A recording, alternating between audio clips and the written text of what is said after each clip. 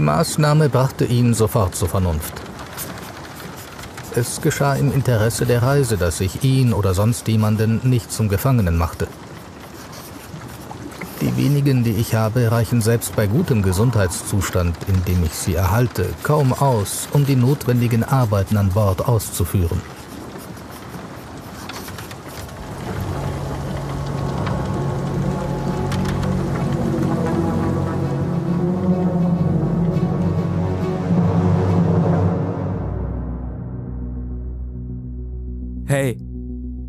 Wieder, Ole und Tore. Willkommen zu Wild und Fremd. Das hier ist die Geschichte von einem ziemlich krassen Abenteuer.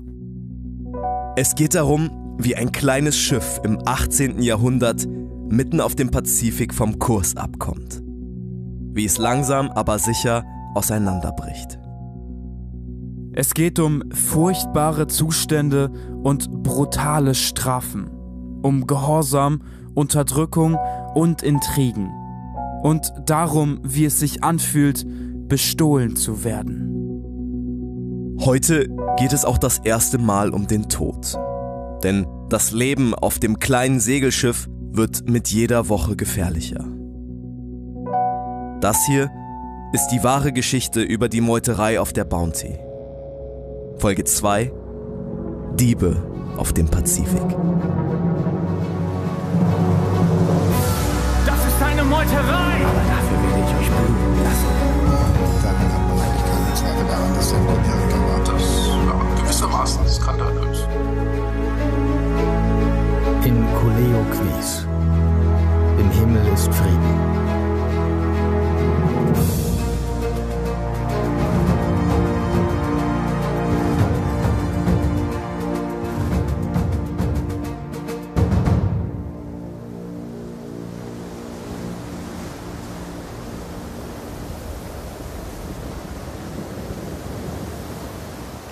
Die See ist rau. Regenstürme peitschen über die aufgewühlten Wellen hinweg. Der Pazifik zeigt sich von seiner schlecht gelaunten Seite.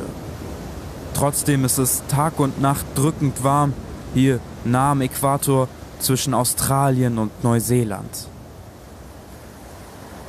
Nachts, wenn der Wind sich legt, steigen große, phosphoreszierende Quallen an die Oberfläche.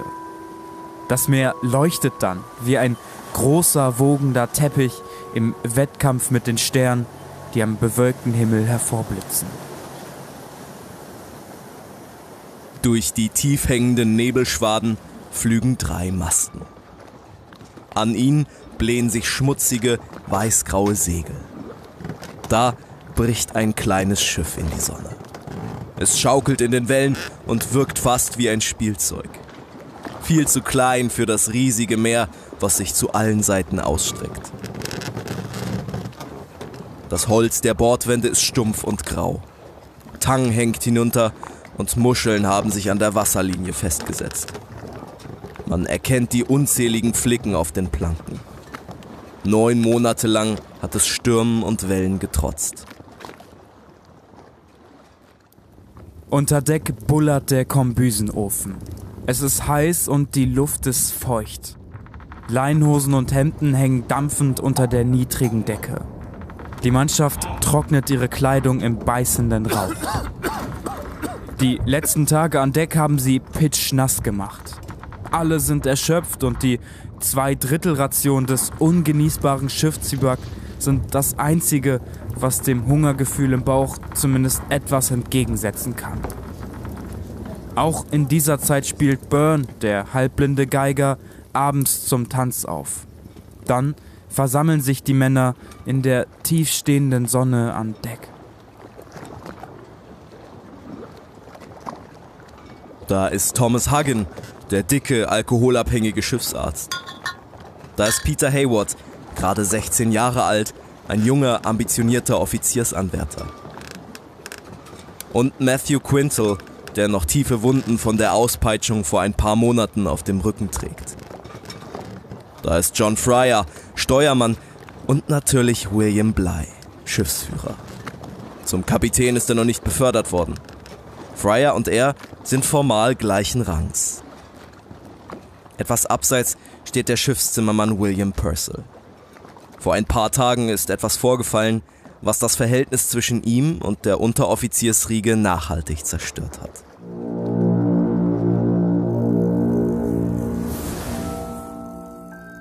In der Adventure-Bucht wurde die Saat ewiger Zwietracht zwischen Leutnant Bly und dem Zimmermann gesät. Es ist nichts anderes als die Wahrheit, wenn ich sage, zwischen Leutnant Bly und allen Offizieren überhaupt.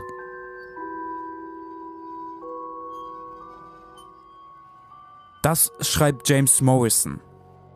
Wahrscheinlich ist er auch an diesem Abend an Deck und lauscht den schiefen Tönen des Geigers. Er hat als Bootsmann Smart auf der Bounty angeheuert und die lange Reise macht ihm langsam zu schaffen. Ein Dreivierteljahr sind sie jetzt schon unterwegs auf diesem furchtbar engen kleinen Schiff, in dessen Bauch schon bald hunderte Pflanzen geladen werden sollen. Es sind Brotfruchtstecklinge, die sie von Tahiti nach Westindien bringen sollen. Eine relativ nahrhafte Frucht, mit der die Sklaven auf den Zuckerrohrplantagen zukünftig versorgt werden sollen. Doch sie sind noch nicht mal auf der Hälfte ihrer Reise und schon jetzt häufen sich die Verzögerungen. Erst wollte sie die Admiralität nicht lossegeln lassen. Dann mussten sie bei Kap Horn umdrehen, weil der Weg zu stürmisch war. Morrison kann sich noch gut an die 24 Peitschenhiebe erinnern, die er Quintal, dem jungen Matrosen, vor ein paar Monaten wegen aufrührerischem Verhalten versetzen musste. Es war die erste harte Strafe an Bord. Und mittlerweile rumort es in der Mannschaft. Vor allem seit dieser Sache in der Adventure-Bucht. Purcell, der Zimmermann der Crew, hatte sich mit Blei über ein paar schlecht geschnittene Holzstücke so zerstritten, dass ihn der Schiffsführer vom Land zurück auf die Bounty verdonnert hat. Bly steckt in einem Dilemma. Purcell ist Unteroffizier und somit auch von jeder Prügel- oder Peitschenstrafe ausgeschlossen. Der Zimmermann ist trotz seiner beinahe Meuterei wohl einer der handwerklich geschicktesten Männer an Bord. Ihn jetzt unter Arrest zu stellen, das würde die Arbeit für die wenigen verbleibenden gesunden Männer enorm vergrößern. Und Purcell, der erkennt seinen Vorteil. Drei Tage später weigert er sich, beim Verladen von Wasser zu helfen. Wir wissen bis heute nicht genau, welche Strafe Blei in dieser Zwickmühle verordnet. Aber was auch immer es ist, es hält den Zimmermann vorerst von weiteren Verweigerungen ab. Trotzdem kann es nicht verhindern, dass sich erste, wirklich ernste Unzufriedenheiten in der Mannschaft breit machen. Vielleicht fühlt Morrison in dem Moment, als er diese Zeilen schreibt, dass das nicht der letzte Streit zwischen Blei und einem seiner Unteroffiziere sein wird. Aber wahrscheinlich ahnt er nicht, was wirklich auf sie wartet. Dass diese Vorfälle nur Zündfunken für die berühmteste Meuterei der Geschichte sein werden. Und dass auch Morrison bald vor einem Gericht in England stehen wird. Angeklagt wegen Meuterei mit guten Aussichten auf den Tod durch den Strang.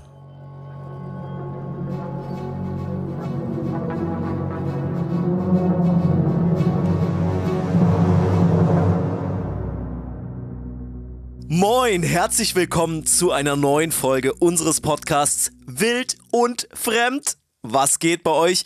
Wir sind ein Podcast über historische Expeditionen. Mein Name ist Tore, mir gegenüber sitzt Ole.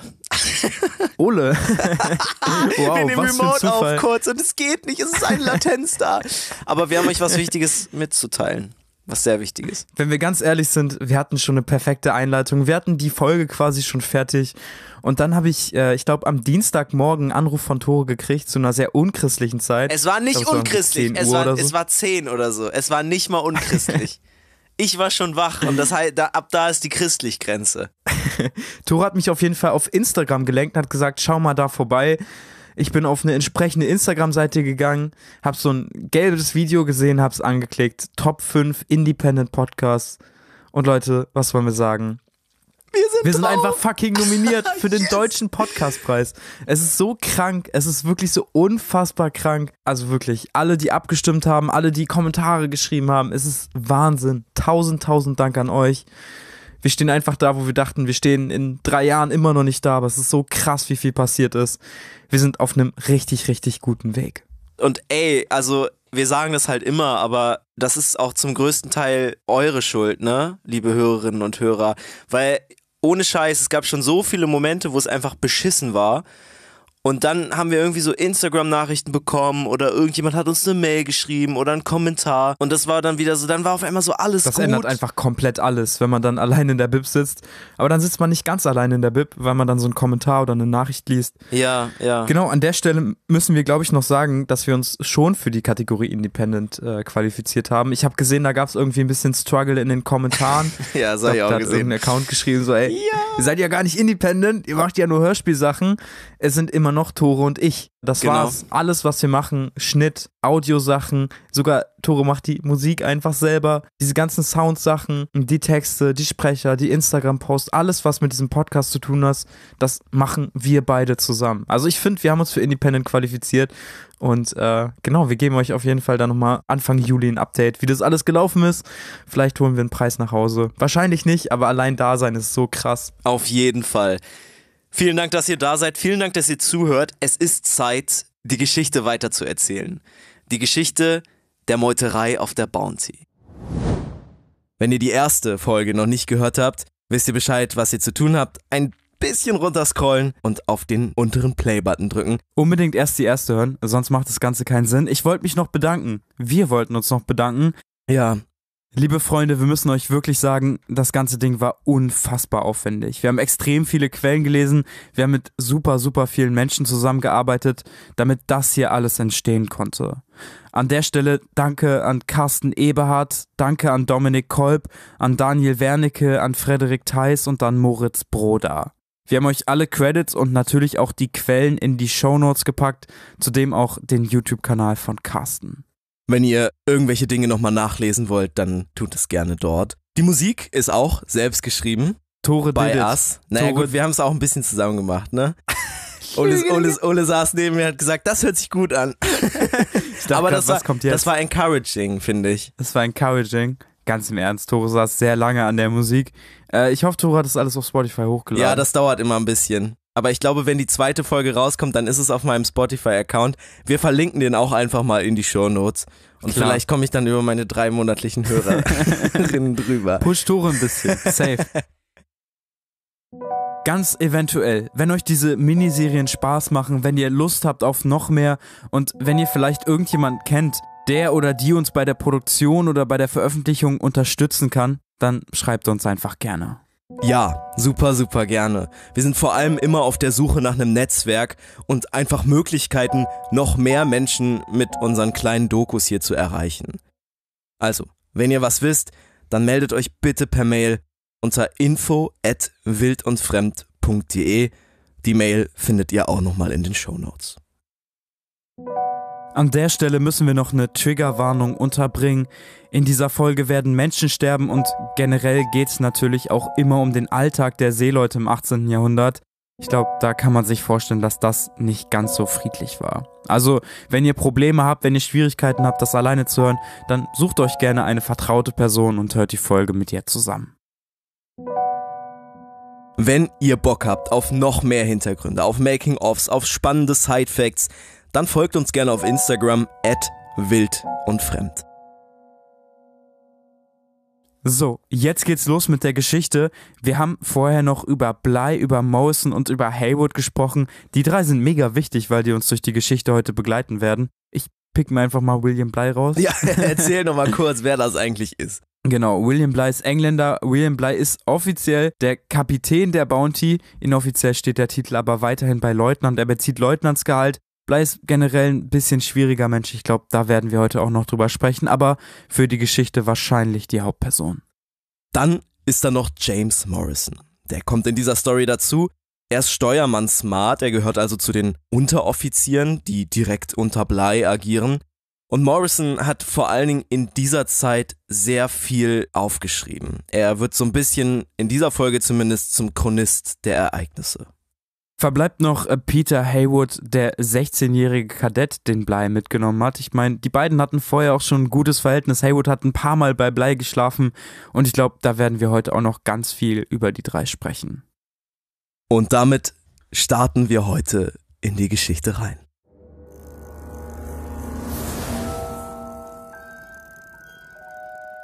Bly scheint mit diesem ganzen Zimmermannsvorfall erstmal abgeschlossen zu haben. Purcell taucht in seinem kleinen Tagebuch nicht mehr auf.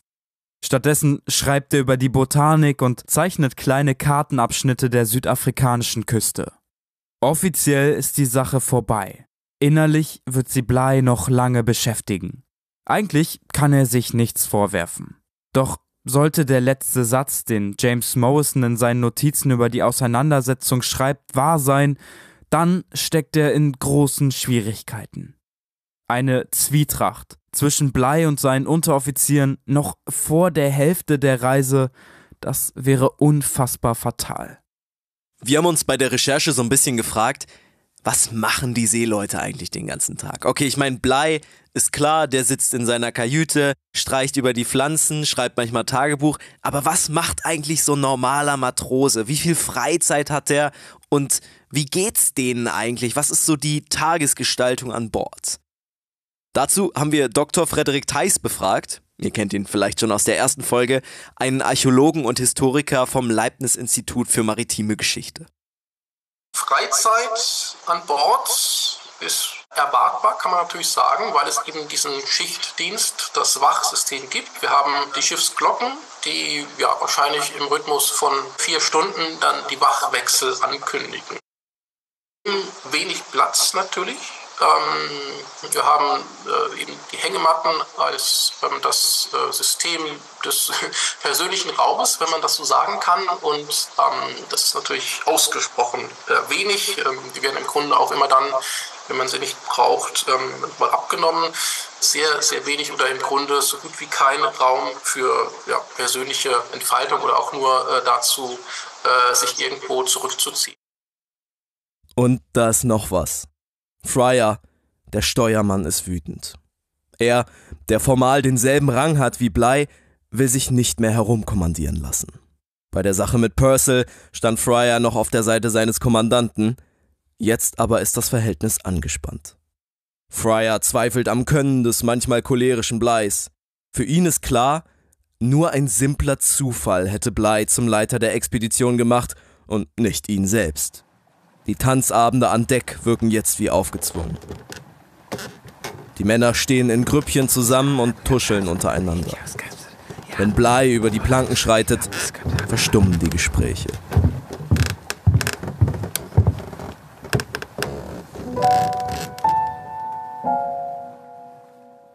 Es ist ein sonniger, ruhiger Morgen, als die Bounty sich von den waldigen Ufern der Adventure Bay entfernt. Das Wasser südlich von Neuseeland ist ruhig und friedlich. Da tauchen braune Felsen im dunstigen Wetter auf. Sie sind auf keiner Karte eingezeichnet, die Männer wären also fast in sie hineingekracht. Als sei es Vorsehung gewesen, hatte Blei kurz vorher einen leicht südlicheren Kurs steuern lassen. Der Nebel lichtet sich und öffnet den Blick auf ein paar kleine, vegetationslose Inseln. Auf den Spitzen der Hügel liegt weißer Schnee. William Bly zeichnet ihre Position auf einer der Schiffskarten ein und nennt sie dort die Bounty-Inseln. Die heißen tatsächlich heute immer noch so. Das kann man googeln. Ich glaube, die haben zwei Bewertungen oder so. yes, wir haben tatsächlich gegoogelt. Es sind genau 22 kleine, unbewohnte Granitinseln. So, keine Ahnung, etwa fünf Kilometer im Durchmesser ungefähr, Offiziell zählen die zu Neuseeland, aber viel ist auf diesen Inseln einfach nicht los. Da gibt es ein paar dicke Vögel, die da ab und zu mal landen und wieder starten, aber sonst geht da nichts. Aber ist egal, Bly hat tatsächlich was entdecken können. Finde ich schon nice. Also dafür, dass sie quasi nur einen Spediteur spielen, von Tahiti wieder zurück. Yes, und er nennt sie Bounty-Inseln, zeigt irgendwie, dass das Schiff ihm noch ziemlich viel bedeutet, dass er einfach so ein paar Inseln danach Ja, tr trotz der ganzen Scheiße, die passiert ist, so, ne? Er hätte sie auch Blei-Inseln nennen können oder Banks-Inseln oder so, aber er nennt sie nach dem Schiff. Schon nice. Die Bounty setzt ihren Weg durch dunkles, wolkiges Wetter und tiefen Nebel fort, immer weiter Richtung Tahiti. In dieser Zeit bilden sich kleine Klicken an Deck. Besonders ein Paar versteht sich immer besser. Fletcher Christian und Peter Hayward, der 16-jährige Offiziersanwärter. Christian ist sowieso schon ziemlich beliebt, wie er mit seinem ausgestreckten Arm eine Flinte balancieren kann oder wie er aus dem Stand in ein hohes Fass hüpfen kann, das feiern alle Matrosen und Unteroffiziere. Sportlich sind viele von ihnen, aber keiner ist so stark wie Fletcher Christian. Und so wird der starke, beliebte Steuermann Smart zu einer Vaterfigur für den jungen Offiziersanwärter. Vielleicht um dieser Grüppchenbildung etwas entgegenzuwirken oder einfach, weil es so Brauch ist, lädt Blei seine Unteroffiziere regelmäßig zu sich zum Essen ein. Die enge Kajüte bietet kaum Platz und so kommt es irgendwann zum Eklat. Während dieser Fahrt hatten Herr Blei und seine Tischgenossen, der Steuermann und der Schiffsarzt, Streit miteinander und trennten sich. Jeder nahm sich seinen Teil vom Vorrat und zog sich in seine Kajüte zurück. Danach hatten sie oft Meinungsverschiedenheiten und sprachen selten miteinander, außer über Dienstliches und das dann auch sichtlich sehr reserviert. Die von Morrison als Schiffsarzt und Steuermann beschriebenen Männer sind natürlich Hagen und Fryer. Sie verlassen Bleis Tafel und sind damit vorerst kein Teil mehr von den ernsteren Gesprächen. Und der Leutnant verbannt sie sogar aus seiner Kabine. Das ist eine Demütigung, vor allem für Fryer. Am 9. Oktober klopft es an Bleis Kabinentür. Die letzten Tage waren verdächtig ruhig. Blei öffnet und vor ihm steht einer der Steuermannsmate. Atemlos und aufgeregt sprudelt es aus ihm hervor. Valentine, einer der Matrosen, sei krank. Blei ist misstrauisch. Seit kurzem gibt es merkwürdige Fälle von angeblichem Skorbut, aber noch keine ernsten Beschwerden. Und wegen ein bisschen Bauchweh schickt man keinen Boten zum Kommandanten. Blei will wissen, wie schlimm es ist. Der Maat an der Tür stammelt etwas von fantasiert und liegt im Sterben. Blei rutscht das Herz in die Hose. Sofort stürzt er unter Deck, um den Kranken persönlich zu sehen.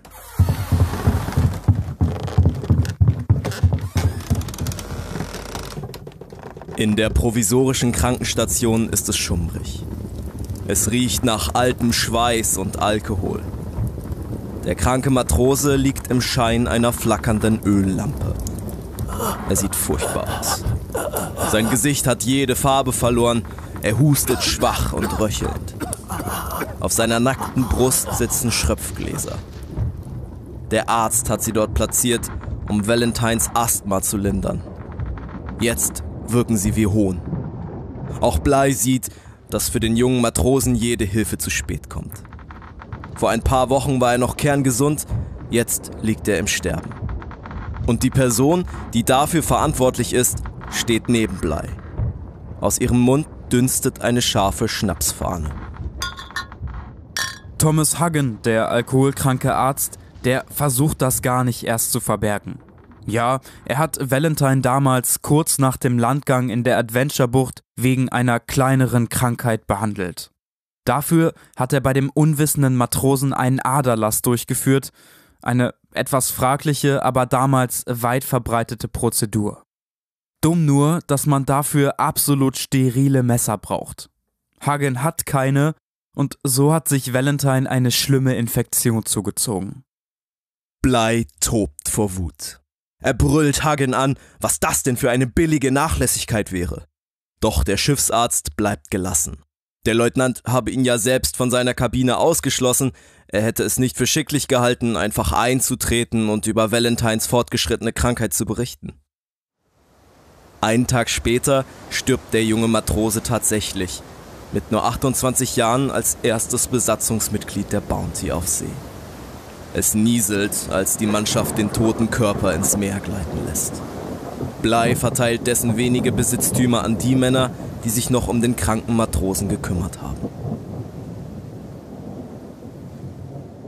Ich fand das so unfassbar crazy. Blei war jemand, der immer darauf geachtet hat, hey, die Männer müssen jeden Sonntag hygienisch sein, die Männer müssen gesund bleiben. Und jetzt stirbt ein eigentlich komplett gesunder Mann an einer relativ einfachen Infektion. Ja, auch diese Gleichgültigkeit von Hagen, von dem Arzt, die ja Blei völlig auf die Palme bringt. Hagen, der ja quasi schuld daran ist, dessen Messer diese Infektion erst begünstigt haben. Und hier wird nochmal richtig klar, in wessen Händen die Gesundheit der gesamten Mannschaft liegt. Nämlich in den zittrigen, alkoholkranken Händen eines süchtigen Arztes. Ich find's so krass, wie da einfach aus Trotz mit Menschenleben gespielt wird, weil Hagen sagt, hey, ich darf nicht mehr in deine Kajüte, ich bin ausgeschlossen worden. Blei hat auch vorher ein paar Mal nachgefragt und Hagen hat immer gesagt, ja, ja, wird gut, alles keine Sorge. Und jetzt stirbt Valentine einfach. Ich weiß nicht, ob Hagen sich dann einfach nicht mehr getraut hat, zu Blei zu gehen und zu sagen, hier übrigens, es ist doch nicht so kacke geworden. Ob er es wirklich aus Trotz gemacht hat, immer noch, oder ob er es auch einfach vergessen hat. Man darf nicht unterschlagen, der Typ ist halt fast 24-7 lang irgendwie betrunken, ne? Dieser Arzt. Und hat dann eben auch Schwierigkeiten, seine Messer immer sauber zu halten, ganz genau. Normalerweise wurden die Sachen von toten Matrosen dann an denjenigen äh, verkauft, der am meisten geboten hat, also wie so ein wie so eine Auktion. Ja, genau, das Wort hat von, mir gerade von, von den Toten weg, ja. Ja. Also es ist ein furchtbarer Brauch, aber das war damals wirklich so. Gerade bei einfachen Matrosen hat man dann gesagt, so, wer bietet was für die Stiefel, wer bietet was für, keine Ahnung. Und das macht Blei hier eben nicht. Finde ich, macht ihn irgendwie sympathisch. Auch in seinen Wutanfällen irgendwie noch so eine Decency da reinzupacken und zu sagen, okay, das machen wir jetzt nicht hier. Wir versteigern jetzt nicht seine Leinhosen für, keine Ahnung, 50 Pfennig oder so. Ja, man kann's voll verstehen, auf jeden Fall. Und die Liste der wirklich Kranken, die findet irgendwie kein Ende. Vier Tage nach Valentines Tod diagnostiziert Hagen bei drei der älteren rheumatischen Matrosen Skorbut. Und das ist natürlich eine heftige Diagnose. Hagen erkennt diesen Frieselausschlag, also diese gerötete, juckende Haut. Er sieht das und sagt sofort, ja, das ist äh, ein klares Anzeichen für Skorbut. Ich glaube, wir können uns alle vorstellen, wie Blei sich in diesem Moment fühlt. Blei hat vorher ein paar kleinere Bücher geschrieben und in einem hat er geschrieben, Skorbut sei wirklich eine Schande für ein Schiff. Und jetzt hat er diese unfassbare Schande scheinbar auf seinem eigenen Schiff. Krass, was das für ein Stigma war, ne? Damals hat man halt auch gedacht, es liegt viel an der Hygiene und jemand, der unhygienisch sein Schiff führt, holt sich den Skorbut quasi ins Haus. Und das wird diagnostiziert von einem Arzt, der selber krank ist, der trinkt wie ein Loch und anscheinend jetzt schon große Probleme hat, seine Patienten vernünftig zu behandeln. Ich glaube, Blei sieht auch, dass Hagen vielleicht nicht die beste Besetzung ist und so kommt Blei auf den Entschluss, sich einfach selber um diese Problemfälle zu kümmern.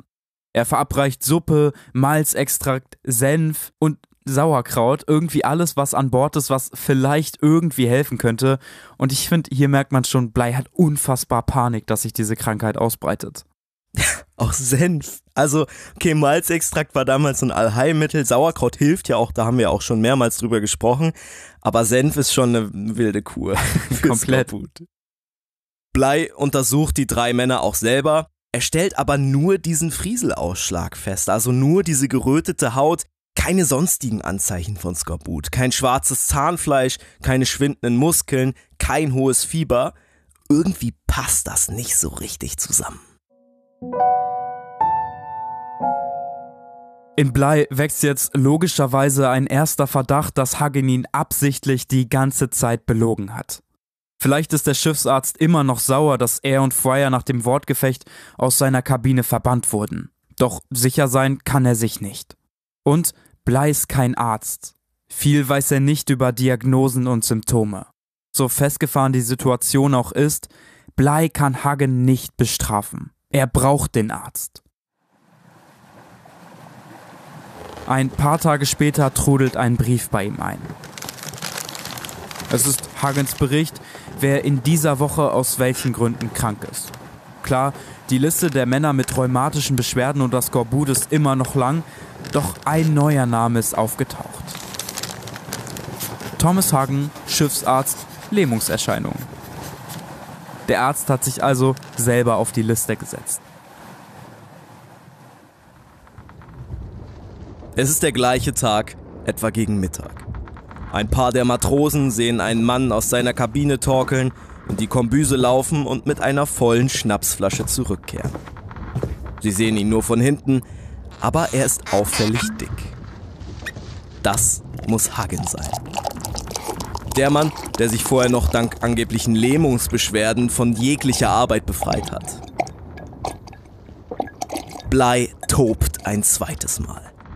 Er befiehlt ein paar seiner Männer, die ganze Kajüte des Arztes zu durchsuchen und jedes bisschen Alkohol daraus zu entfernen. Am nächsten Tag erscheint Hagen zitternd, aber nüchtern an Deck. Reumütig kommt er Bleis Befehl nach, die Männer auf Geschlechtskrankheiten zu untersuchen. Zur Freude der Mannschaft findet er keine. Alle sind gesund. Die Untersuchung zeigt den Männern, dass es jetzt nicht mehr weit bis nach Tahiti sein kann. Solche Untersuchungen wurden eben häufig vor Landgängen gemacht, weil viele Insulanerinnen und Insulaner mit Syphilis oder Gonorrhoe infiziert sind. Beides Geschlechtskrankheiten. Wer die Krankheiten damals auf die Insel gebracht hat, das ist nicht ganz klar. Laut den Engländern sind die Franzosen schuld, die Franzosen schieben die Schuld den Engländern zu. Sicher ist nur, die wurden auf jeden Fall eingeschleppt. Vor dem Kontakt mit Europäern waren die Menschen auf Tahiti gesund. Da schiebt sich ein kleines Stück Land über den Horizont. Die Bounty segelt sanft darauf zu. Grüne Wiesen, vulkanische Gipfel und eine sonnengelb leuchtende Landzunge erstrecken sich vor den staunenden Gesichtern der Männer. Vor ihnen liegt die Matavai-Bucht, das erste Anzeichen für tahitianischen Boden. Sie sind fast am Ziel. In der Ferne sehen sie die Umrisse von schmalen Kanus und braun gebrannten starken Oberkörpern. Sie paddeln neugierig auf das kleine Schiff zu. Die Tahitianer bekommen selten Besuch und als Blei ihnen zuruft, ihr Schiff käme aus England, klettern die Insulaner auf die Bounty. Innerhalb von wenigen Minuten ist das Schiff voll von fremden, großgewachsenen Tahitianern. Die erkennen auch direkt ein paar Menschen wieder. Bly, Packover, Nelson und ein paar andere werden besonders freundlich begrüßt, denn die waren schon mal hier.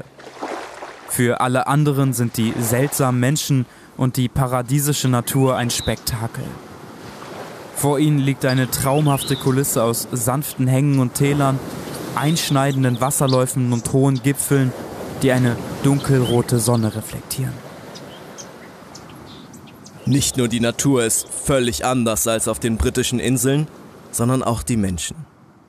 Die Engländer sind trotz Bleis wöchentlicher Sonntagskontrollen obeinig, pockennarbig, zahnlos und ziemlich entstellt. Die Tahitianer dagegen sind attraktiv, schwarzhaarig, von dunkler Haut und mit einem weißen Lächeln im Gesicht. Manche von ihnen sind fast 1,90 Meter groß, damit überragen sie ihre hellhäutigen Besucher um mehr als einen Kopf. Ich glaube, Fletcher Christian war ja der größte. Und der war Mann trotzdem auf der unter Bounty. 1,80 groß. Genau, genau. Natürlich haben sie Schwierigkeiten mit der fremden englischen Sprache, aber sie sind trotzdem unfassbar freundlich und zugänglich. Das erste, was Bly den Insulanern beantworten muss, ist die ganze Fragerei nach James Cook. Wir erinnern uns an Folge 1. Cook gilt in der ganzen Welt damals als einer der begabtesten Kapitäne seiner Zeit. Der fuhr auch vor Aufbruch der Bounty dreimal in den Pazifischen Ozean und kartografierte da besser und genauer als jeder Kapitän vor ihm. Bly war in den letzten Jahren oft sein Navigator gewesen, so auch an dem Tag, als Cook getötet wurde. Eigentlich war der Kapitän stets offen und lieb zu den Insulanern, doch an diesem einen Tag verließ ihn seine Ruhe und er wurde aus dem Hinterhalt erschlagen und an einem der Fernstrände in Hawaii getötet. Das war aber so weit weg, dass die Tahitianerinnen und Tahitianer das nicht wissen. Dafür erinnern sie sich gerne an Cooks Freundlichkeit und an seine Großzügigkeit. Bly entscheidet sich für eine Lüge. Er sagt, Cook gehe es hervorragend, er lebe derzeit in England und habe die Bounty mit einem freundlichen Gruß nach Tahiti oder Otaheite, wie Bly es nennt, damals war das so der Name für Tahiti, geschickt.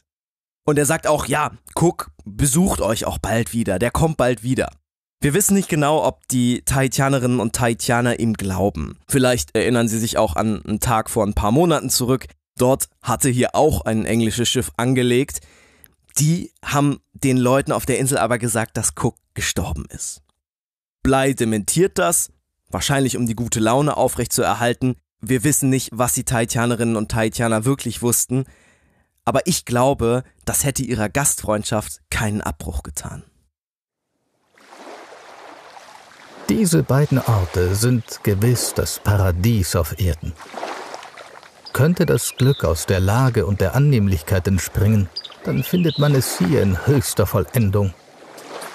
Ich habe viele Gegenden der Welt gesehen, doch Otaheite ist allen vorzuziehen. Gleich am zweiten Tag besucht Leutnant Bly Tainer den Häuptling des kleinen Dorfes in der Bucht und seine Frau Idia. Für Bly zählt die Mission. Er erklärt so gut es geht, was die Engländer brauchen. Kleine Brotfrüchte, die sie in ihre mitgebrachten Töpfe pflanzen und dann verladen wollen.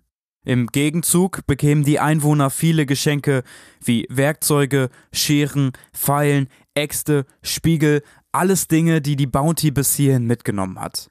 Und Nägel, also Eisenwaren. Yes, das, das war Gut, was richtig alle, beliebt. alle ja. auf Tahiti brauchen. Safe. Das hört sich wie ein ziemlich wilder Deal an, doch hier passt alles perfekt. Tainer freut sich über die Geschenke und Brotfrüchte haben sie hier sowieso genug. Der Handel steht. Blei befiehlt seinen Männern, kleine Tausch- und Pflanzstationen an Land einzurichten. Die Bounty konnte damals Kap Horn ja nicht überwinden, sie erreichen Tahiti also erst kurz vor Beginn des Novembers, dem Start der jährlichen Regenzeit. Die Stürme hier im Winter sind selbst für hartgesottene Seemänner kaum bezwingbar. Bis April werden sie also hier bleiben müssen. Ganze fünf Monate. Am 2. November schickt Bly die erste kleine Gruppe vom Schiff an Land. Peckover, Haywood, Nelson, Brown und vier Matrosen, alle unter dem Befehl von Fletcher Christian. Auch wieder so ein Vertrauensbeweis an Fletcher Christian. Ne? Komplett. Ey, ich habe irgendwie auch das Gefühl, es passiert viel Scheiße gerade. Der Arzt, dann das, die Sache mit dem Zimmermann, alles Mögliche. Aber Fletcher Christian scheint irgendwie mit der Einzige zu sein, dem Blei noch voll vertraut. Ja, aber auch 100 Prozent. 100 Prozent. Ja, Das ja. ist Wahnsinn. Diese kleine Gruppe wird losgeschickt, um an Land ein kleines Lager zu errichten, dort die ertauschten Brotpflanzen zwischenzulagern und die dann im Anschluss in die Töpfe und an Deck zu bringen. Das ist eine ziemlich entspannte Aufgabe. Die haben ja erstmal Zeit, die Brotpflanzen da wachsen zu lassen. Und sie dürfen in ihrem Lager schlafen. Sie müssen nicht wie alle anderen Männer bei Anbruch des Abends zurück an Bord. Doch als ob Blei ahnt, dass fünf Monate in fast vollkommener Freiheit die Disziplin auf ein Minimum verschwinden lassen wird, stellt er sechs eiserne Regeln auf. Erstens. Niemand darf andeuten, dass Captain Cook von Hawaiianern getötet wurde oder dass er tot ist. Zweitens. Niemand darf davon sprechen, dass wir in der Absicht gekommen sind, die Brotfruchtpflanze zu holen. Drittens. Jeder Mann soll darauf bedacht sein, das Wohlwollen und die Achtung der Ureinwohner zu gewinnen. Viertens. Jeder Diensthabende hat darauf zu achten, dass keine Waffen oder Utensilien jeglicher Art gestohlen werden. Fünftens. Niemand darf einen Teil der königlichen Vorräte veruntreuen. Sechstens. Für die Regelung des Tauschhandels mit den Eingeborenen wird eine geeignete Person ernannt werden. Und kein Offizier oder Seemann oder sonst jemand darf Nahrungsmittel jeglicher Art oder Kuriositäten erwerben.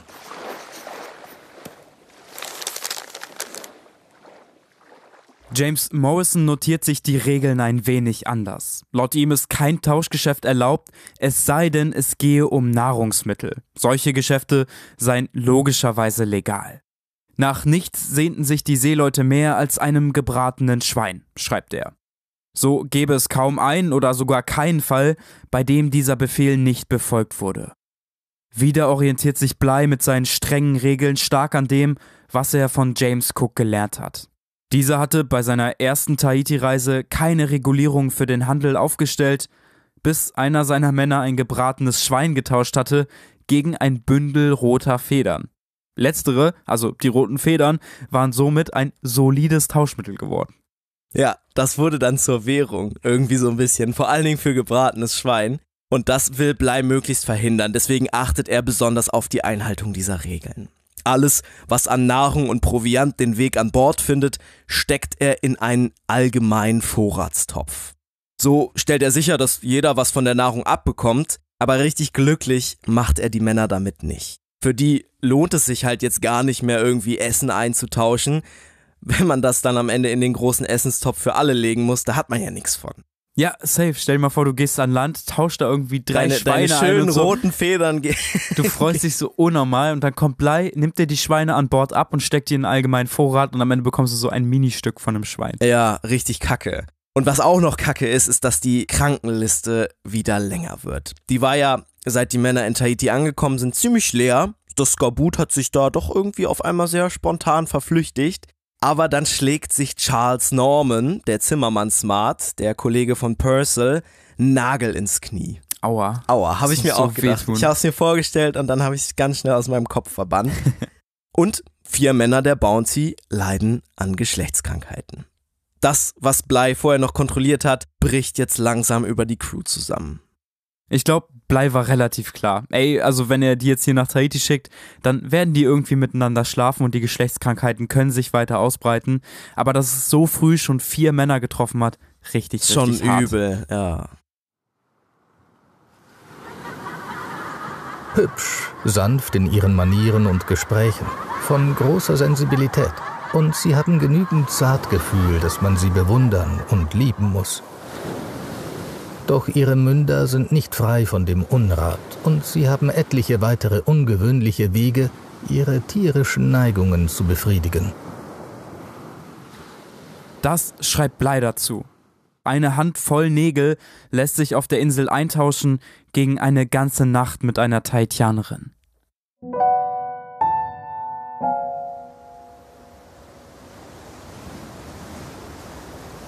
Der Dezember beginnt heftig.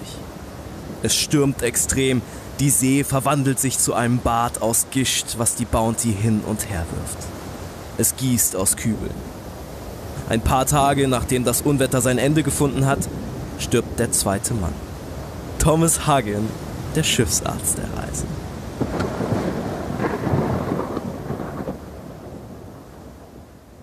Na, an was könnte der wohl gestorben sein? Was könnte passiert Genau, sein? gebt jetzt eure Schätzung ab. Hat ja ein primäres Merkmal. Der, also er ist, er ist ein bisschen korpulent, aber das spielt hier keine Rolle. Er erliegt seinem Alkoholkonsum. Während des Tahiti-Aufenthalts ist er irgendwo wieder an Schnaps gekommen. Dieser Schnaps tötet ihn jetzt. Für die anderen ist es irgendwie kein Wunder. Die haben schon mit seinem schnellen Ableben gerechnet. Wir erinnern uns vielleicht an die erste Folge, wo der Schiffsarzt Gehilfe vor der Reise noch an seine Verwandten geschrieben hat, ey, ich glaube, ich werde während der Reise befördert, weil mein Chef stirbt. Er hat absolut recht gehabt. Er hat absolut recht gehabt. Und ich glaube, so richtig trauert ihm die Mannschaft auch nicht hinterher, weil das war auch kein angenehmer Zeitgenosse. Sie begraben ihn trotzdem anständig, östlich von Kap Venus, nicht weit vom offenen Meer entfernt.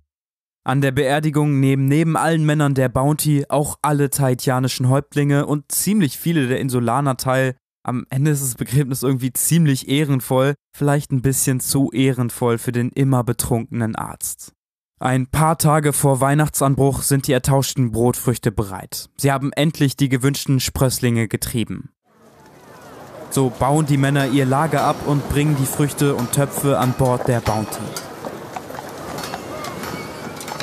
An einem ruhigen, wolkenlosen Tag legen sie ab und erreichen in kürzester Zeit Opare, einen kleineren Bezirk auf Tahiti. Auch Opare liegt in Häuptling Tainers Herrschaftsbereich. Der Tauschhandel kann also locker fortgeführt werden. Auch da war es wieder so, dass dieser Häuptling extrem drauf geachtet hat, dass sie nicht aus seinem Herrschaftsbereich rauskommen, ne? Weil der halt wusste, dieser Tauschhandel bringt mir richtig was ein. So, Ja. richtig viele neue Sachen. Extrem guter Deal. Vor allen Dingen, wenn man kein Eisen da hat, dann nimmt man jeden Nagel mit Herzen auf. Ja, auch wenn man sich die ab und zu mal ins Knie haut. Alter Schwede. Aua.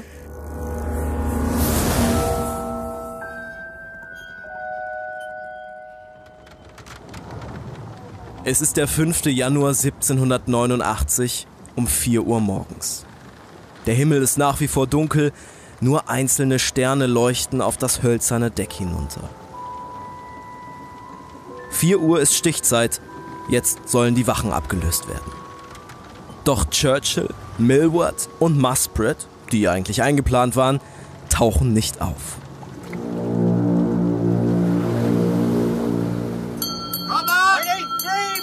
Sofort wird die Bounty durchsucht.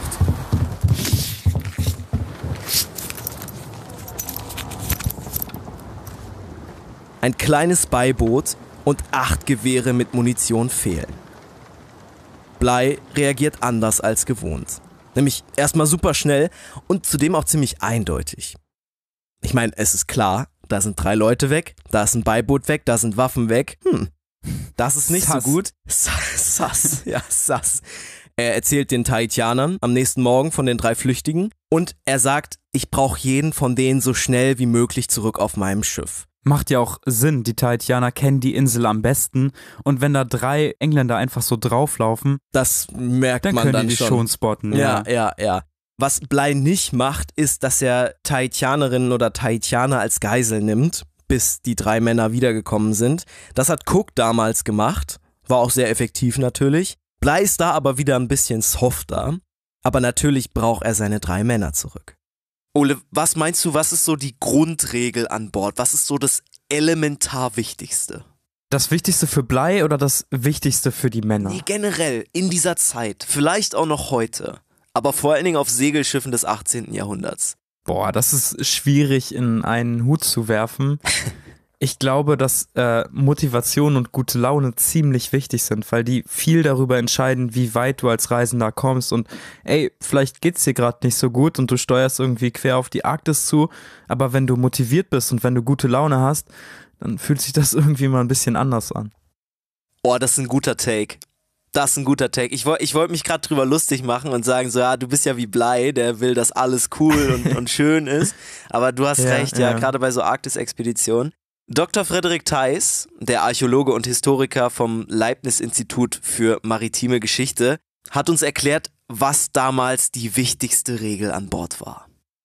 dass es natürlich im Kern ein gewisses Level an Disziplin braucht, unabhängig von der Persönlichkeit des, ähm, des Schiffsführers, des Lieutenants, des Kapitäns, in der Lage sein, die Mannschaft diszipliniert zu halten, weil sonst ähm, solche Missionen äh, definitiv eben nicht funktionieren würden. Und das ist etwas, was im Grunde generell für die, für die Seefahrt äh, zutrifft, ähm, auch in jüngeren Zeiten, selbst in der Gegenwart.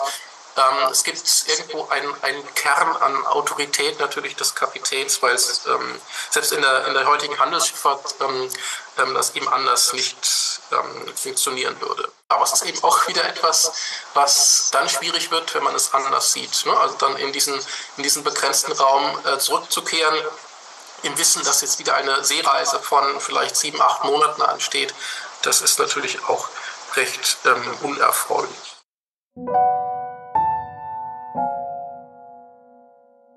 Ganz kurzer Überblick bis hierhin. Die Landschaft ist der absolute Wahnsinn, die Menschen sind unfassbar schön und zudem ultra gut gelaunt. Irgendwie klar, dass die Männer da eher geneigt sind zu desertieren und der anstrengenden Arbeit an Bord den Rücken zu kehren. Wahrscheinlich hat Bly damit gerechnet. Auch bei Cooks Reisen damals gab es immer wieder Männer, die desertiert haben. Bly lässt die an Bord gebliebenen Sachen der Männer untersuchen und bei Waffenmeister Churchill findet sich eine lange Liste mit Namen. Darunter stehen unter anderem Millward, Muspratt und Churchills eigener Name. Also so eine Art Plan. Wir drei hauen ab. Hier ist eine Liste. Warum macht man sowas? Warum schreibt man das auf eine Liste? Da stehen tatsächlich nicht nur drei Namen drauf, sondern ein paar mehr. Das war damals so eine Art alter Kniff, bei so einer Desertation oder Meuterei eine Liste aufzustellen, weil wenn einer der Männer dich hängen lässt, dann kann er trotzdem zur Verantwortung gezogen werden, weil er steht ja literally auf der Liste drauf. Ah, krass.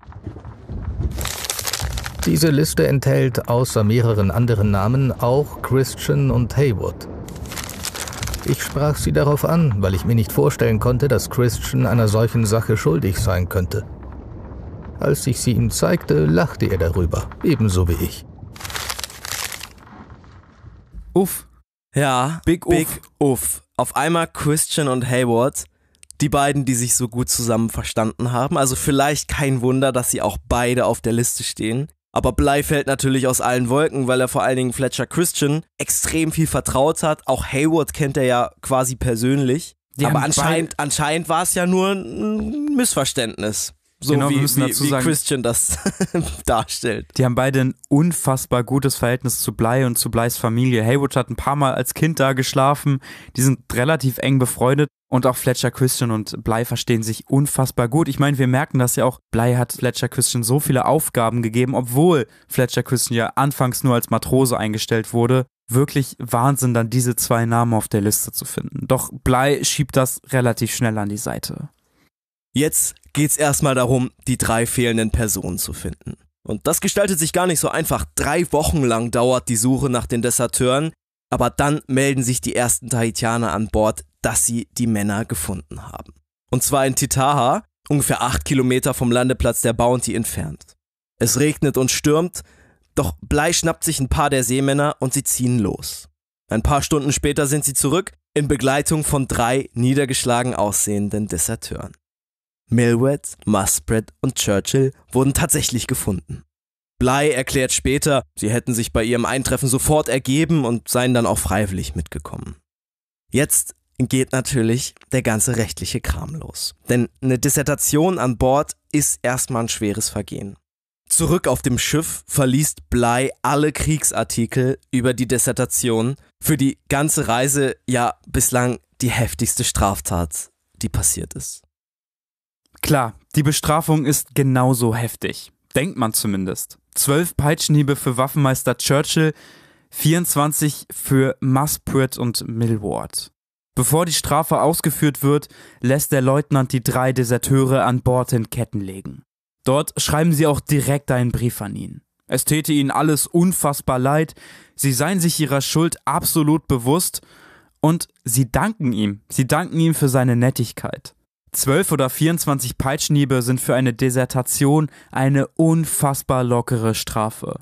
Selbst wenn die Männer damals vorher auf der Bounty den besten Job aller Zeiten gemacht haben, 100 bis 150 Peitschenhiebe sind bei einem so krassen Vergehen viel eher die Norm. Und es ist irgendwie klar, 100 bis 150 Peitschenhiebe enden super oft tödlich.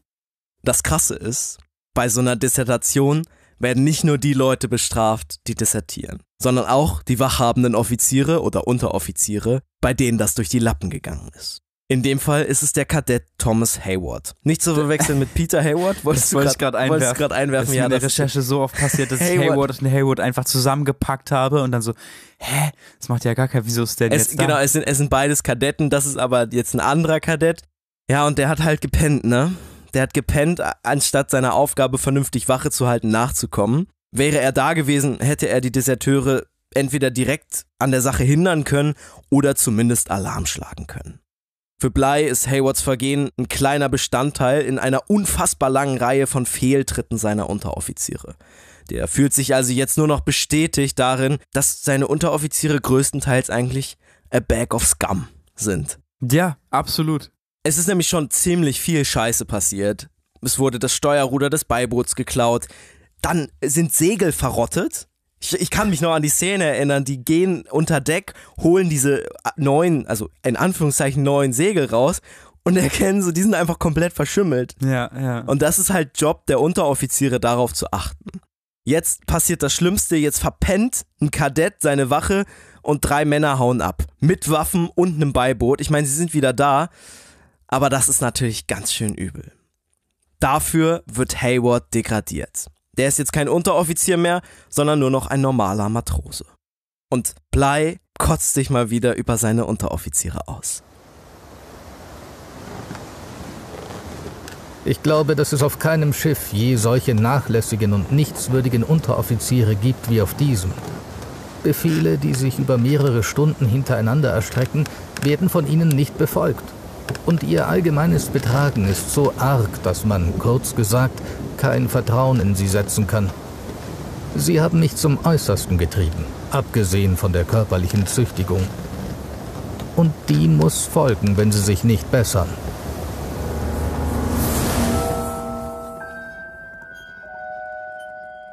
Zu Beginn des Februars bereiten sich die Männer der Bounty auf ihre Abreise vor.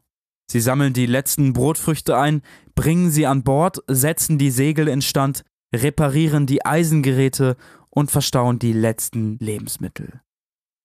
Und jetzt muss man sich vorstellen, dieses große Schiff, oder zumindest im Vergleich zu, zu den kleinen Kanus der Tahitianerinnen und Tahitianer, große Schiff, legt jetzt langsam ab, kappt langsam seine Seile. Was würdest du machen? Wärst du Tahitianer und du siehst ein dickes englisches Schiff, verlässt jetzt unsere Ja, Insel? jetzt, jetzt ist die letzte Gelegenheit, sich noch ein paar gute Sachen zu snacken und das passiert natürlich. Also es wird jetzt mehr geklaut, weil die Abfahrt kurz bevorsteht. Blei hat einen ziemlich guten Überblick, was alles an Bord ist und so merkt er auch relativ schnell, wenn was geklaut wird. Er führt Liste, doch die meisten Sachen sind einfach viel zu klein, die kann er niemals wiederfinden.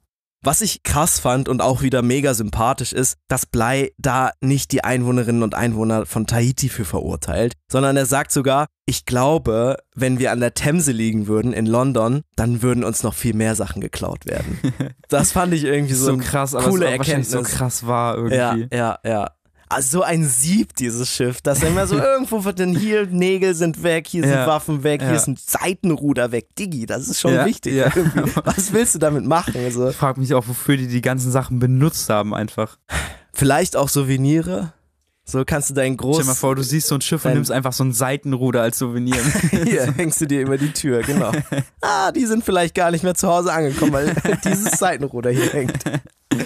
Insgesamt ist es einfach eine unfassbar wilde Situation. Die Männer arbeiten jetzt so die letzten Arbeiten auf dem Schiff und schauen immer wieder auf die Insel hinter ihnen. Rauschende grüne Palmen, lange weiße Strände, sie lassen hier so unfassbar viel zurück. Und sie lassen ja nicht nur diese wunderschöne Natur zurück, sondern auch die Tahitianerinnen und Tahitianer. Und darunter sind mittlerweile viele Freunde, auch Geliebte und teilweise sogar ungeborene Kinder. Wir dürfen nicht vergessen, fast jeder der Seemänner hatte sicherlich Geschlechtsverkehr und da ist einiges entstanden und auch viel an Zuneigung und Liebe. Für William Bly selber spielt das alles keine große Rolle. Er hat 1015 Brotfrüchte gesammelt und muss jetzt also nur noch 20.000 Kilometer nach England zurück. Dann hat er endlich seine Mission erfüllt.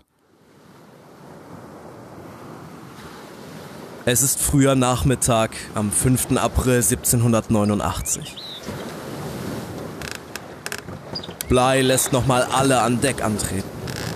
Gemeinsam schauen sie auf die Brandung des wunderschönen Tahitis, winken einer Gruppe von versammelten Insulanern am Strand zu und bringen ein dreifaches Hoch auf die Insel auf. Dann wendet sich das Schiff ab, dreht und macht sich auf einen langen und beschwerlichen Rückweg nach England. Viele der Männer schauen noch lange zurück und sehen die letzten grünen Gipfel.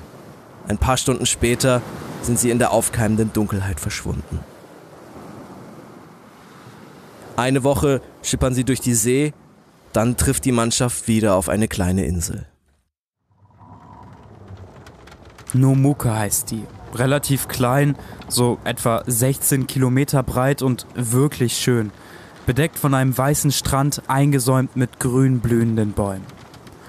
Klar, sie wollen hier Vorräte auffüllen, kleinere Stellen am Schiff ausbessern und dann gut gestärkt in ein paar Tagen weiterfahren. Für Blei selbst hat der Inselbesuch aber noch andere, irgendwie ziemlich nostalgische Gründe. Er war schon einmal hier, zwölf Jahre zuvor, damals mit James Cook. Er erinnert sich noch gut an die Freundlichkeit und Offenheit der Insulaner. Gerne würde er sie hier wiedersehen. Doch es kommt anders. Als das Schiff nah genug an die Insel gefahren ist, sehen die Engländer die Inselbewohner das erste Mal richtig.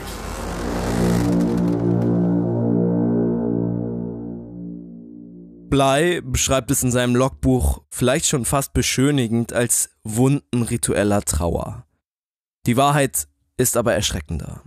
Den meisten der kleineren Jungen fehlen ein paar Finger, Männer und Frauen jedes Alters tragen Löcher wegen ausgerissener Haare am Kopf und haben tiefe, nicht heilende Wunden am ganzen Körper. Das kommt nicht von irgendwoher. Wahrscheinlich haben die Menschen hier einen anderen Glauben als die Engländer und haben sich jetzt selbst verletzt, um einen Gott anzubeten. Ganz sicher ist sich Blei nicht, er weiß aber, jetzt gilt es vorsichtig zu sein. Bly schickt zwei Gruppen aus. Die erste besteht aus fünf Männern, die unter dem Befehl des Steuermann Marts William Elphinstone an Land gehen und Holz besorgen sollen. Logisch, ziemlich wichtig, vor allem für Ausbesserungen am Schiff und um in Zukunft genug Feuerholz zu besitzen. Uns hat die zweite Gruppe deutlich mehr überrascht. Blei schickt zwölf Männer los, die sollen mit einem Beiboot ins Landesinnere segeln und dort frisches Wasser zapfen und an Bord der Bounty bringen. Der Anführer der Gruppe ist Wieder mal. Fletcher Christian. Aber hier passiert zum ersten Mal so ein kleiner Bruch in der doch bis dahin relativ guten Beziehung zwischen Fletcher Christian und William Bly. In der Kajüte des Leutnants war es nur ein paar Tage zuvor zu einem Streit gekommen. Fryer beobachtet den Wortwechsel der beiden und notiert, was Christian gesagt hat.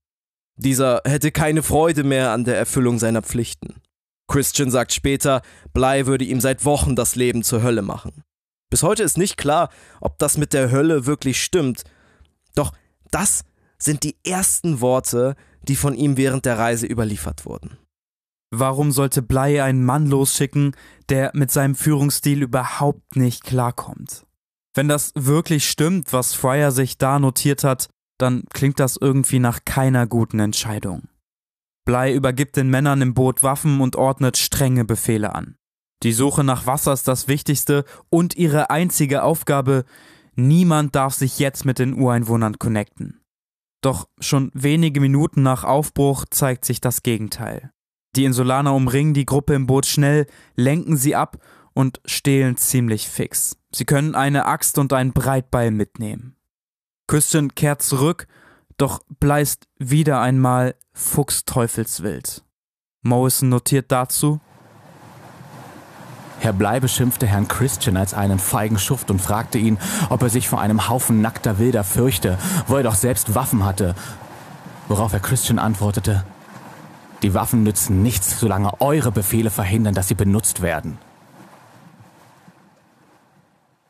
Ich find's krass, wie Morrison so mittlerweile zum Chronist dieser Streits wird und das auch ziemlich wörtlicher wiedergibt, was da passiert. Ich glaube, wir können schon spoilern, dass Morrison mit Abstand einer der schlausten Männer an Bord war und wahrscheinlich ein ziemlich gutes Gespür davon hat, einfach das Wichtigste einzufangen. Und vielleicht ahnt er jetzt schon, dass es noch viel schlimmer kommen könnte. Im Prinzip hat Christian in dieser Situation aber recht. Bly hat ja befohlen, die Waffen im Notfall zu benutzen, aber eben nur im Boot. An Land sind die Waffen verboten. Der Leutnant beordert die Gruppe zurück und erklärt ihnen die Befehle nochmal. So ein bisschen wie so zu kleinen Kindern, ne? Komplett. Ja. Nach einer Nacht an Deck schickt Bly die gleiche Gruppe ein zweites Mal ins Landesinnere. Es dauert, doch weder Christian noch ein anderer der Gruppe findet sich am Strand oder in der Nähe der Bounty ein. Bly schickt Fryer aus. Der soll der Gruppe hinterherlaufen und schauen, was den Männern passiert ist. Und alles sieht gut aus. Fryer trifft relativ schnell Quintel, der Mann, der ja am Anfang auch rumgemeutert hat. Und ausgepeitscht wurde als Yes. erster, ja. Der rollt bereits volle Fässer vom See im Landesinneren Richtung Landungsstelle der Bounty. Fryer ruft ihm zu, die beiden Männer begrüßen sich kurz. Doch dann erhebt sich hinter Quintel ein weiterer, ein viel größerer Schatten. Fryer schaut genau hin.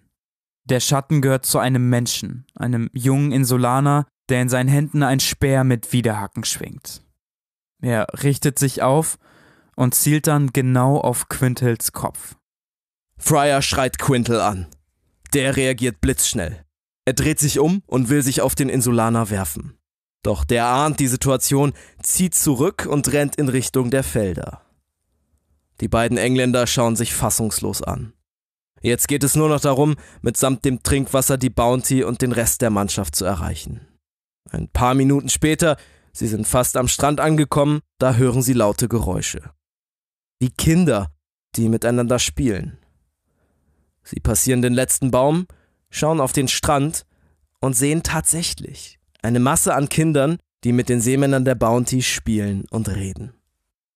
Die Kinder lenken alle ab. Die meisten Männer sind froh über die Ablenkung, nur William Bly nicht. Der schreit wieder einmal rum und versucht die Insulaner vom Boot wegzudrängen. Doch das klappt nicht. Das Brüllen und Raufen der Kinder ist viel zu laut. Kein Mann der Bounty hört Blys verzweifeltes Rufen. Und noch schlimmer, ein Insulaner springt vom Strand ins Wasser und schwimmt auf das Boot der Engländer zu. Auch das sieht einfach niemand. Er erreicht das Boot und löst seinen kleinen Anker. Er zerschneidet die Leine und hieft den schweren Anker an den Strand. Okay, da möchte sich also Junge. wieder jemand irgendwie Souvenire absnacken. Das fällt natürlich sofort auf. Das Boot treibt direkt ab. Klar, wenn der Anker fehlt, hat's keinen Halt mehr. Es ist by the way nicht der Wurfanker der Bounty, sondern nur so ein etwas kleinerer, den man als sehr starker Insulaner locker mal an Land tragen kann. Trotzdem ist es ziemlich kacke. Ein Anker ist nicht nur ziemlich wichtig, sondern auch verdammt teuer. Aber viel Eisen, ne? Hab ich so gedacht. Viele Nägel, ja. Kannst viele Nägel draus machen. Blei checkt das auch schnell. Jetzt schafft er es zumindest, die Kinder vom Strand zu verscheuchen. Dann schickt er ein paar seiner Männer in Beibooten zur Insel. Der Auftrag für die ist relativ klar. Sie sollen Häuptlinge von der Insel einsammeln. Das hat Blei von Cook. Der hat das auch immer gemacht, wenn irgendwas gefehlt hat. Genau, und jetzt tut er das, was er auf Tahiti nicht tun wollte. Er nimmt die Häuptlinge als Pfand. Als Geiseln dafür, dass der Anker der Bounty wiedergebracht wird. Es ist klar, dass die Leute auf der Insel unbedingt ihre Häuptlinge wiederhaben wollen und sich deswegen hoffentlich anstrengen, den Dieb zu finden. Blei lässt sich danach aber noch Zeit. Er verteilt noch einmal Eisen. Ein paar Männer tauschen das Eisen auf der Insel gegen Speere, Keulen und gegen Kokosnüsse. Am Nachmittag ist die ganze Crew mit den Häuptlingen an Bord und Blei legt ab. Und jetzt erst merken die Häuptlinge, was Blei wirklich vorhat. Die Insulaner am Strand merken auch ziemlich schnell, hey, der will mit unseren Häuptlingen abhauen. Die steigen jetzt also in kleine Kanus und fahren der Bounty hinterher. Sie weinen, also sie literally sitzen im Boot und heulen den Häuptlingen hinterher und flehen Blei auf allen Vieren an, die Häuptlinge unbedingt wieder freizulassen. Das wird ein stundenlanges Schauspiel. Blei fordert immer wieder die Rückgabe des Ankers, doch entweder wurde dieser Anker nicht gesehen oder sie wollen ihm nicht sagen, wo er ist. Am Ende lässt Blei die Häuptlinge dann frei. Wir können hier Fazit ziehen tatsächlich. Und wir können sagen, hey, die englische Mannschaft hat an diesem einen Tag überhaupt nichts gewonnen. Sie haben nur ihren kleinen Anker verloren.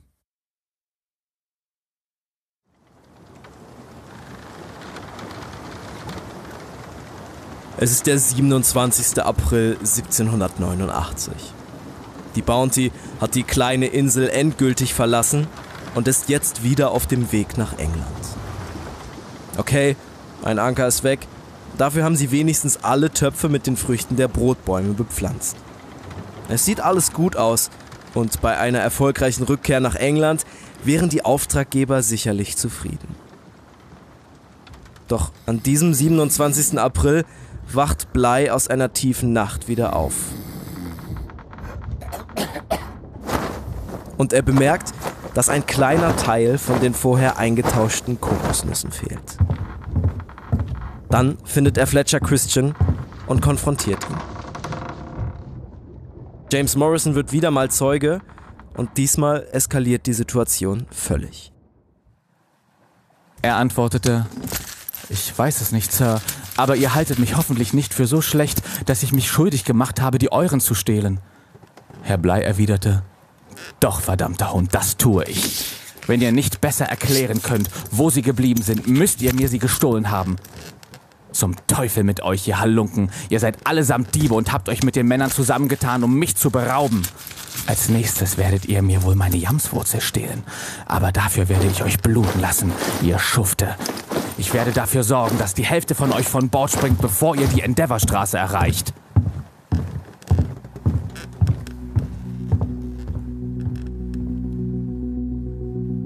Halunken, Schufte, Diebe. Bleis Ausfall richtet sich nicht nur gegen Christian, sondern er stellt die halbe Mannschaft unter Generalverdacht. Morrison beschreibt ziemlich gut, wie Bleis cholerische Art so immer mehr Überhand nimmt.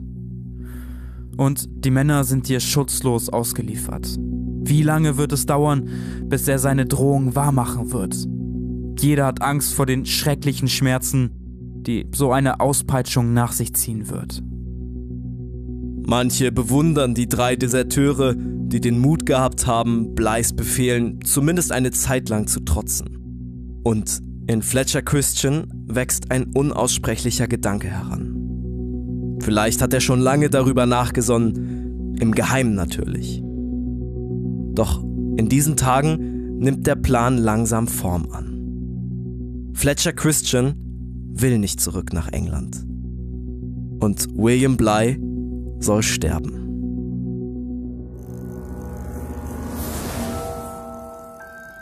Das war's von uns. Wir hoffen sehr, euch hat die zweite Folge über die Bounty gefallen.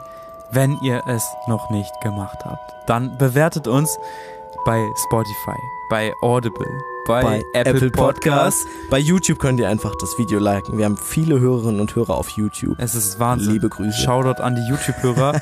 genau. Folgt uns bei Java Hub. Was? Spendet uns 2 Euro über PayPal. Ja, aber habt was? Ja, Ich weiß es nicht. Keine Ahnung. Egal, wo ihr gerade hört. Ihr seid klasse. Ja, ey, wirklich cool, dass ihr, dass ihr euch diesen Stoff gebt. Und wie gesagt, wenn ihr jemanden kennt, irgendwelche Leute, die irgendwelche krassen Kontakte haben in irgendwelche coolen Netzwerke und Bock auf eine neue Miniserie haben in dieser Art, dann schreibt uns gerne info at wildundfremd.de. Von meiner Seite wär's das. Fällt dir noch was ein, Herr Klein? Ich bin auch durch Herr Klein. Sehr schön. Macht es gut. Bis dann.